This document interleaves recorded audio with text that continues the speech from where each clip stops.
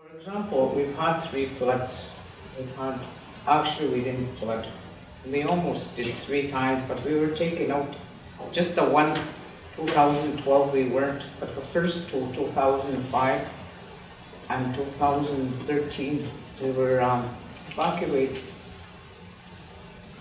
The first thing we did was ask our elders, and they said, we'll never flood. We have two dams. Unless they blow up the dams, then we'll flood. Uh, they said there's no need to. There's no need to uh, evacuate, but listened and they evacuated us. We didn't flood. They said we have enough, like the old stream, like we're, we're dry, like most of our streams are smaller. The lake is dry. They said those have to fill up first before we flood.